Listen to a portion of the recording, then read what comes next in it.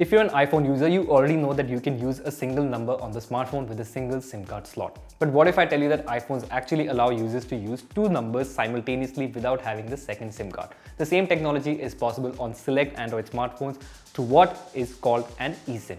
In this video, we will be talking about what an eSIM is, how to activate it, which smartphone support it, and everything you need to know about it. So without any delay, this is Abhik, let's get started. So if you're wondering, it is not an electronic SIM, it is basically an embedded SIM. Why embedded? Because it is embedded or soldered into the motherboard of your smartphone through which you can activate a cellular plan via software program. Samjay? Nahi. So basically this eSIM or this digital SIM simply replaces your physical SIM card so that users can enjoy a secondary number on their smartphone without having the second SIM card inserted into the phone itself. In India, only three carriers provide this eSIM service. There's Airtel, Jio and Vodafone Idea which is currently called Vi. Now to activate this eSIM, the process is different for each carrier and that's what we're gonna do in this video. I will be breaking down step by step for each carrier and then we'll see how to activate the SIM card. So before we go forward, first you need to remember that not all smartphones support eSIM. Most iPhones and Android smartphones do support it, but then in Android, only the flagship Android smartphones support this technology. If you are wondering which smartphones support this, here's all the list that you can find. Whoosh!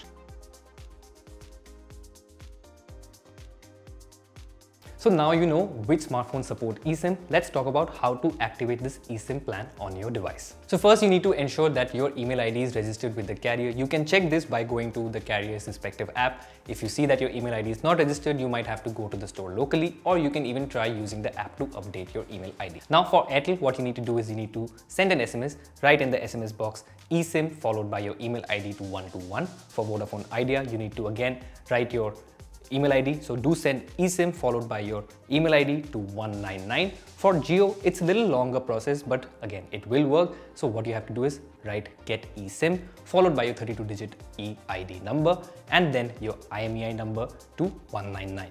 If you don't know how to find your EMI number or IE number, just simply go to your phone settings, go to about section, you will find all these details or you can simply Google.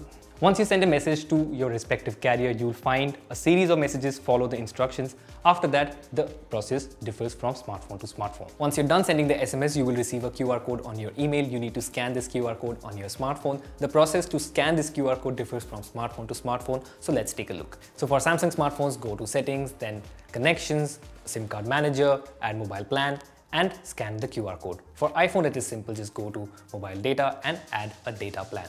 For Pixel smartphones, go to Settings, Network and Internet, click on Mobile Network, download eSIM and scan the QR code. So the good part about eSIM is that it doesn't cost you anything separately if you already have your number registered with the carrier. The downside is that you have to register this whole process again and again if you are switching from one smartphone to the other because physical SIM card at least allows you to take out the SIM from the old device and insert it into the new one. Anyway, let us know in the comments what you think about this eSIM technology. Hit that like button if you like this video, share it with someone who's probably using two numbers at the same time.